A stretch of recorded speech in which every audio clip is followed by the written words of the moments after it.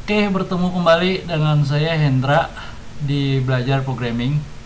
Sekarang kita akan membahas mengenai callback chaining promise works. Ya, jadi bagaimana cara bekerja callback chaining dengan menggunakan uh, promise ya. Nah, di sini kita bisa lihat ya, ini sebenarnya sudah pernah saya bahas di video sebelumnya, tapi kita akan lebih memperjelas lagi ya bagaimana cara kerjanya. Nah, seperti di sini kita ada kode misalkan const promise sama dengan do something. Ah, ini artinya ya line ini artinya menginitiate ya operasi asinkronus ya, operasi secara bersamaan menggunakan fungsi do something yang mana return promise ya dia akan return uh, promise object.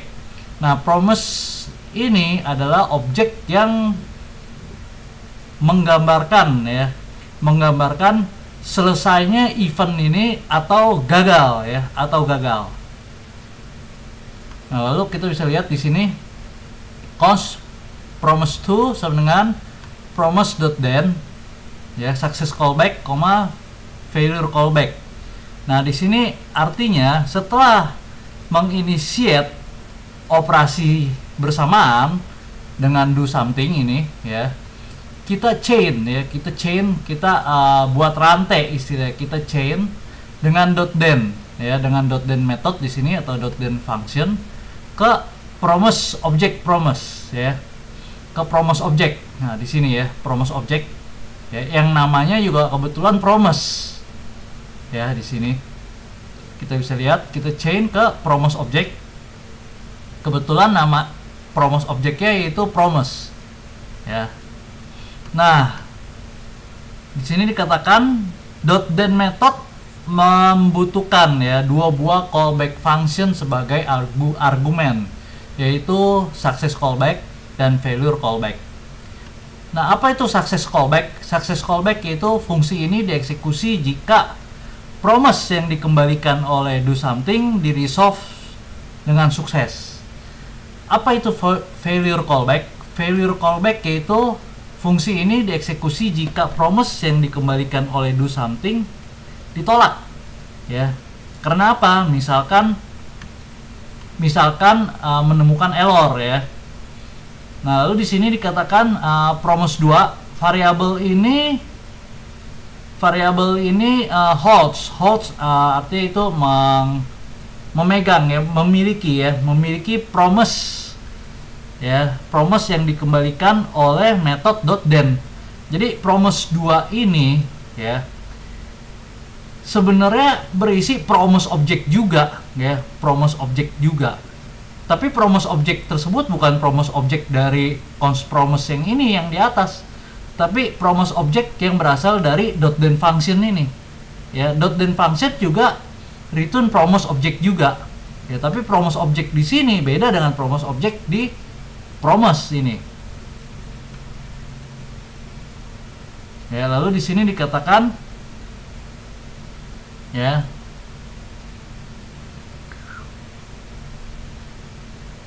second promise ini ya yaitu uh, promise kedua ini ya promise 2 mewakili ya. Mewakili setelah selesainya atau tidak ya bukannya hanya dari do something function ini tapi juga dari eksekusi success callback atau failure callback function. Ya jadi kalau promise 2 ini sudah berhasil di resolve sudah berhasil di settle maksudnya ya sudah berhasil di settle ya jadi kalau promise 2 ini sudah berhasil di settle maka dia akan berisi value dari success callback function atau failure callback function ya. Tapi kalau dia sudah berhasil di resolve, dia masih berisi promise object berasal dari then function ini. Ya, jadi hati-hati uh, ada perbedaan antara resolve dan settle ya. Jadi kalau resolve dia hanya berisi promise object. Ya, resolve. Tapi kalau sudah settle itu sudah mendapatkan value yang sesungguhnya. Ya apakah value-nya ataukah error yang uh, didapatkan. Nah di sini kita bisa lihat ya. Dikatakan jika do something resolve secara sukses maka promise 2 akan resolve setelah mengexecute success callback. Nah, di sini dikatakan ya jika do something menemukan error dan ditolak, maka promise 2 akan resolve setelah menjalankan failure callback. Nah, jadi kalau misalkan ada error ya, ada error, ya, errornya di do something ini ya. Ini harus diperhatikan errornya di do something ya. Jadi do something ini ternyata resolve-nya ya, resolve-nya uh, ke ke error ya. Resolve-nya ke error. Ah, sehingga hasilnya jadi settle ya, settle-nya ke error jadi ya.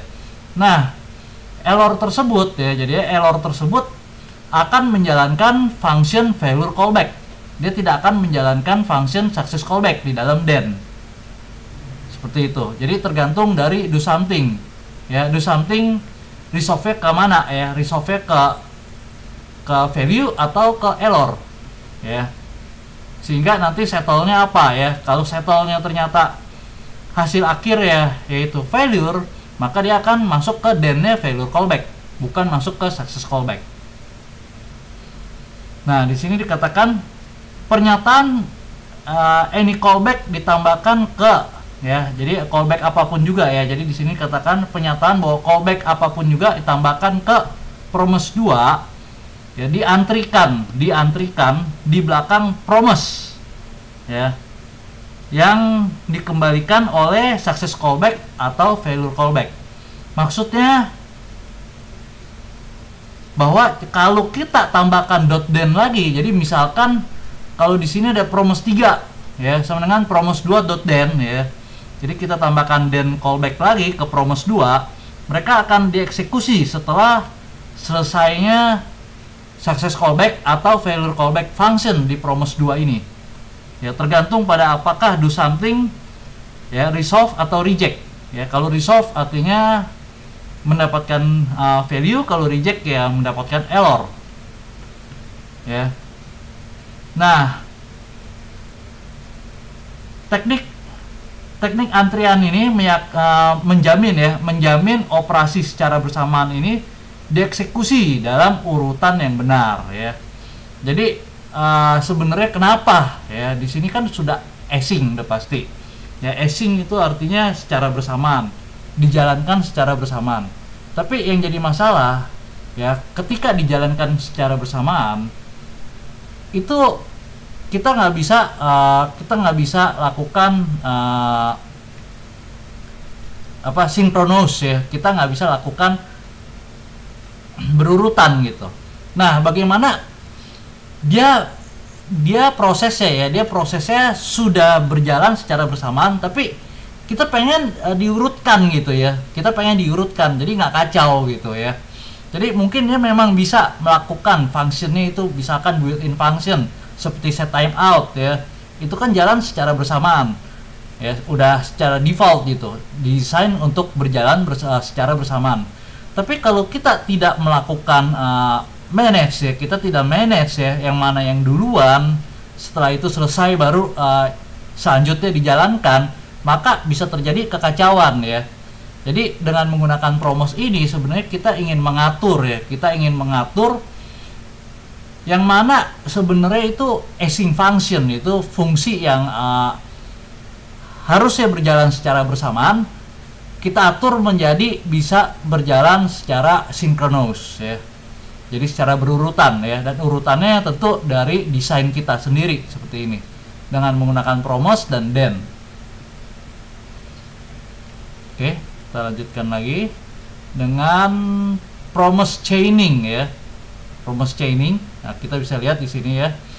Nah, di sini uh, sebenarnya sudah pernah kita bahas ya di video sebelumnya, tapi menggunakan callback ya. Jadi uh, callback chain. Jadi callback di dalamnya ada inner callback, dalamnya lagi ada inner callback ya.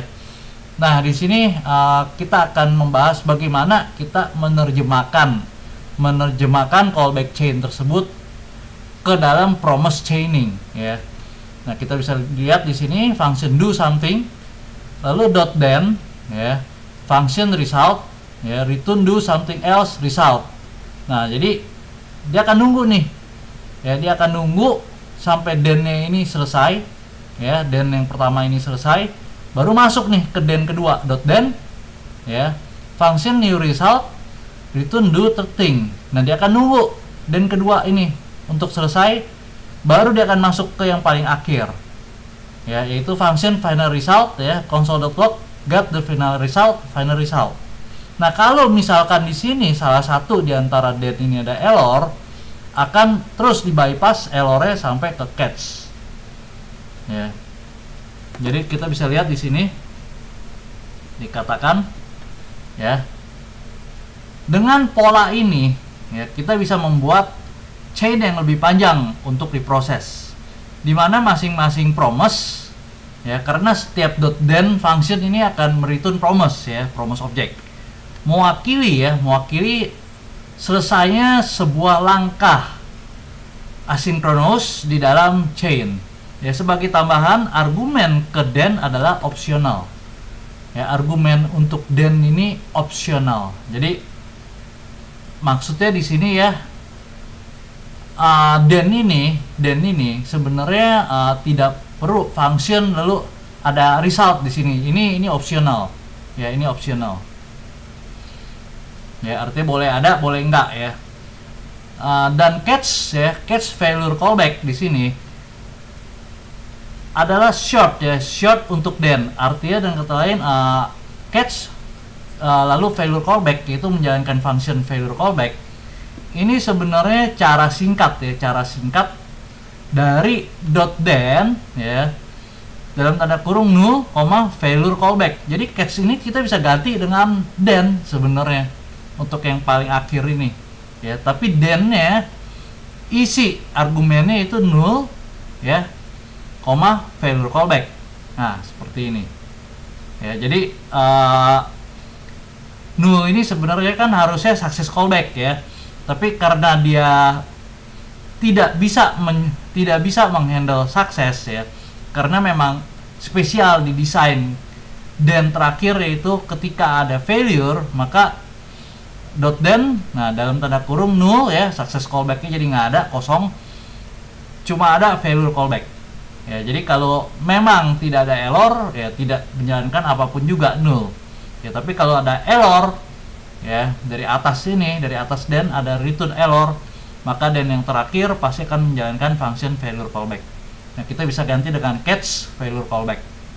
Di sini uh, ya di sini artinya seperti itu. Jadi ini merupakan cara singkatnya ya kita gantikan den null, failure callback digantikan dengan catch failure callback Nah, di sini katakan jadi jika uh, error handling code kita yaitu kode untuk menang uh, menghandle error kita sama untuk semua langkah di sini kita bisa attach pada ujung chain. Jadi kalau functionnya ya jadi kalau ada satu saja error di antara rantai dan ini ya.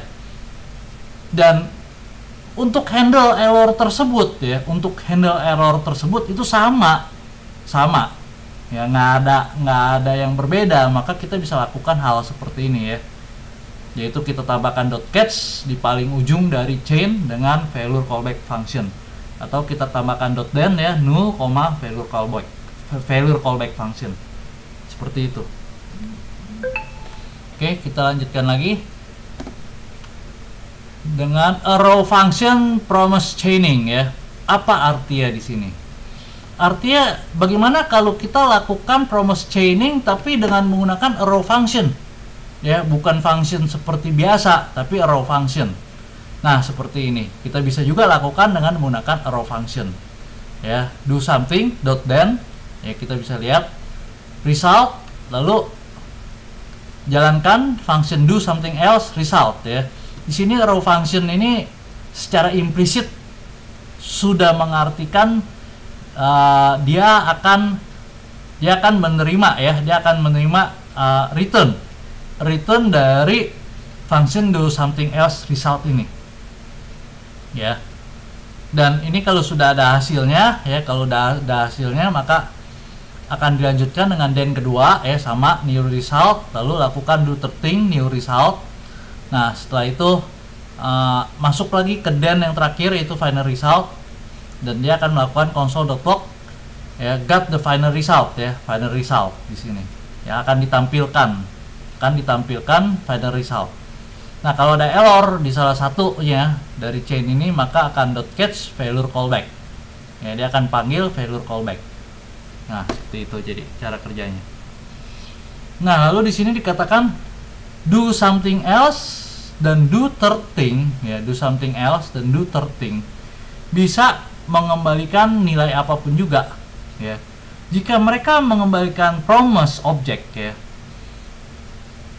maka promise tersebut pertama kali ditunggu ya hingga settle ya. Baru next callback menerima nilai fulfillment. Ya nilai fulfillment. Jadi bukan promise itu sendiri. Ya bukan promise itu sendiri. Ya jadi yang ini ya do thing akan uh, menerima hasilnya. Ya bukan objek promise itu sendiri bukan. Nah di sini dikatakan hal ini penting untuk selalu return promise dari then callback bahkan jika promise selalu resolve ke undefined jadi misalkan do something else result ini pada akhirnya hasilnya undefined ya tetap harus return promise objek dulu ya sebelum berhasil di resolve dan akhirnya settle. Nah, jadi jika handler sebelumnya dimulai dengan sebuah promise tapi tidak return ya tidak ada cara untuk track settlement itu lagi. Dan promise dikatakan floating. Jadi misalkan di sini ya do terting ini uh, mendownload sesuatu ya dari internet. Dan lama sekali tiba-tiba koneksi putus. Dan tidak ada kabarnya lagi ya tidak ada kabarnya lagi. Berarti Dan ini tidak pernah berhasil resolve. Ya promosinya ini nggak pernah berhasil di resolve ya dan tidak pernah settle maka dikatakan di sini istilahnya menjadi floating dan kalau seperti itu terjadi itu akan sulit untuk di track ya apakah di den pertama, den kedua atau den ketiga di sini problemnya. Ya. Nah, di sini uh, maksudnya seperti itu. Nah, di sini katakan hal inilah mengapa catch diperlukan untuk menangkap ya masalah floating pada promise. Nah, kenapa kita butuh catch ini?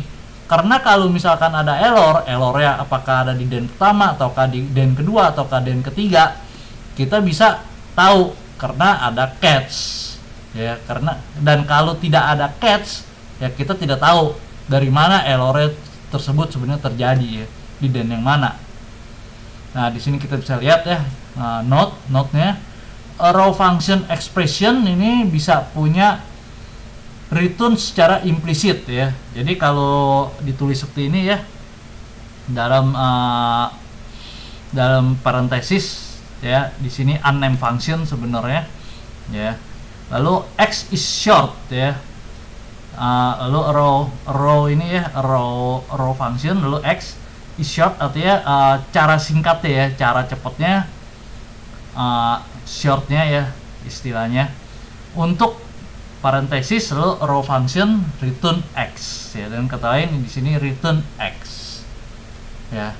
Jadi kenapa tadi saya dikatakan bahwa di sini sebenarnya return ya return dari function do something else result seperti itu. Oke kita lanjutkan lagi. Dengan using promise and fetch to get URL ya. Apa artinya di sini ya ya kita bisa lihat di sini contoh kodenya itu const list of ingredients ya berupa uh, array ya di sini. Di sini bukan array object ya mainkan array primitif. Lalu do something ya function do something ya. Di sini kita bisa lihat ya uh, then URL nah ini merupakan contoh ya contoh program ya. Kalau kita mau uh, download sesuatu ya atau akses sesuatu dari uh, sebuah link yang ada di internet kita menggunakan promise ya dan menggunakan fetch function. Ya, di sini contoh programnya. Nah, jadi kita bisa lihat ya contoh kodenya return fetch URL. Nah, ini kita ganti sebenarnya URL-nya apa, HTTPS apa ya. Nah, lalu uh, then ya, then ya res res.json. Nah, setelah kita dapat ya dari URL tersebut, maka kita terjemahkan ya, terjemahkan resultnya tersebut ya, res di sini ke dalam bentuk JSON di sini. Jadi res.json ya. JSON itu JavaScript Object Notification ya. Nah, ini akan kita bahas lebih detail lagi di video-video selanjutnya ya untuk uh, JSON Object ya. JSON Object itu beda dengan JavaScript Object ya. Itu ada beda ya antara JSON Object dan JavaScript Object, tapi sangat mirip. Ya, nah kita terjemahkan ya dari REST ini menjadi JSON Object ya. Jadi JavaScript Object Notification. Nah, setelah kita dapat bentuk JSON-nya, kita masukkan ke dalam data di sini. Dan setelah itu kita jalankan ya. Jalankan array list of ingredients push ya, masukin ke dalam array list of ingredients di sini. Ya, dan setelah selesai semuanya, maka akan di resolve promise-nya ya ke den selanjutnya ya, ke den selanjutnya ditampilkan ya isi dari array ini list of ingredients. Ya, jadi dikatakan di sini list of ingredients sekarang akan berisi data dari hasil fetch function ini. Ya, jadi di sini katakan dengan uh, return result dari panggilan fetch yang mana berupa promise ya, yang mana berupa promise ya. Sebenarnya di sini Dan ini ya dia sudah return promise dulu. Sudah pasti tunggu ini selesai semua baru akan di resolve ya. Nah fetch ini sendiri juga akan uh, return promise jadi return fetch URL dia return promise dulu ya sebelum berhasil di resolve kita bisa track ya kita bisa uh, track keduanya apakah dia sudah selesai ya dan menerima nilai ketika dia lengkap ya. Nah, floating promise bisa jadi sangat buruk ya jika kita punya rest condition. Ya, jika kita punya rest condition. Floating promise seperti yang sudah dijelaskan sebelumnya ya. Di slide sebelumnya floating promise itu kita tidak tahu jadi ya errornya di den yang mana ya dalam rantai tersebut. Nah, di sini dikatakan jika promise dari handler terakhir yang tidak di return artinya eh, contohnya seperti di sini di den terakhir ini ya jadi next den handler akan dipanggil lebih dahulu ya next den handler akan dipanggil lebih dahulu dan setiap nilai yang dibaca mungkin tidak lengkap ya. Jadi misalkan di sini bawahnya ada den lagi maka itu bisa jadi dipanggil lebih dulu ya dijalankan lebih dulu. Jadi hasil akhirnya itu nilai yang dibacanya oleh den yang selanjutnya itu jadi nggak komplit ya.